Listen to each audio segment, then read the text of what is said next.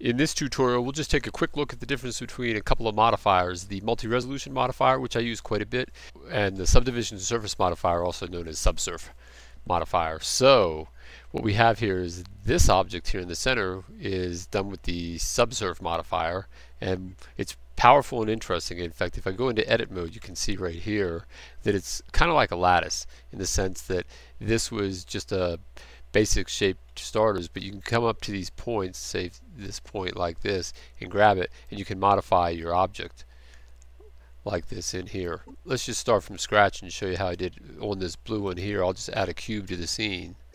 Alright, and then I'll go into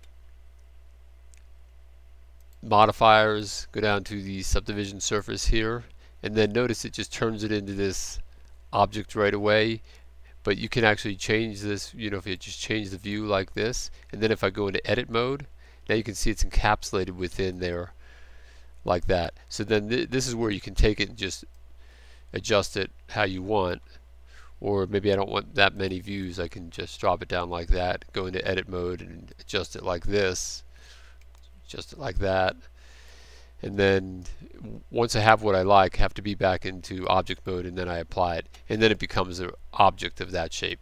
It's kind of a it's a great way to make these kind of you know morphing kind of shapes. Alright so that's one that's powerful. This one here was also a cube for starters if I add a cube to the scene. In this case some of the tricks you can do you can go into edit mode and maybe I grab the top surface first which is what I did with that one there like that. And this is just kind of a little trick and what it does, this allows me to keep hold of the faces at before and after it's changed.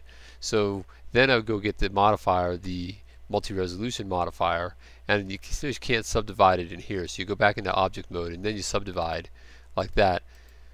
Okay, and then see if I go into edit mode, nothing is looks changed until I apply it. So I apply it, but then when I go into edit mode, notice those same vertices that were representative of the top of the cube are now selected.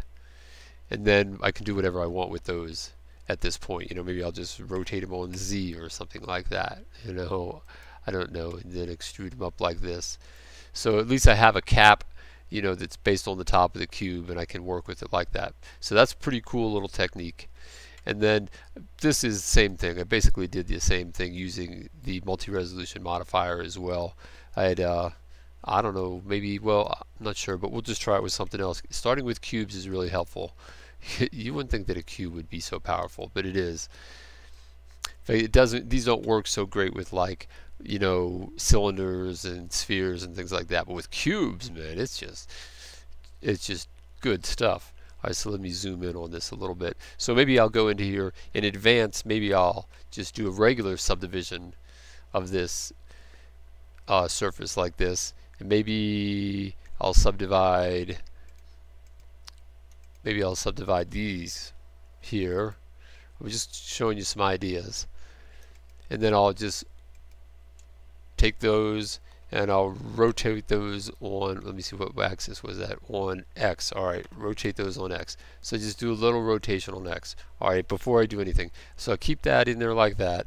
Then I'm gonna leave edit mode. Then I'm gonna go get my multi-resolution modifier here and then I'm going to subdivide it a couple times and apply it. Now when I come back in I still have access to those same vertices before I do anything to the scene. That way I don't have to go try and select it individually and you know it's uh yeah okay let's extrude those on X okay whatever right? all right, I'm just kind of giving you some ideas because all these little tricks really come into play when you're building something and you never know what's going to work when you need it. All right, well, that's it for this lesson, and I'll see you in the next lesson.